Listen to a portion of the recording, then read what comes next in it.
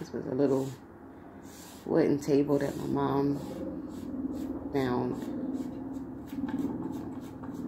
for me. It kind of reminds me of a, um, actually it does. It looks like a, it belonged on a boat or something. Especially this part, because it looks like the wheel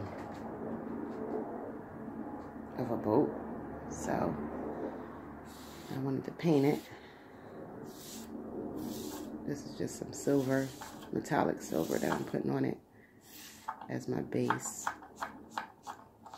And then I'm going to do a pour through this little funnel thing. Just sit it like that. And then just pour my paint one by one. And see what it look like.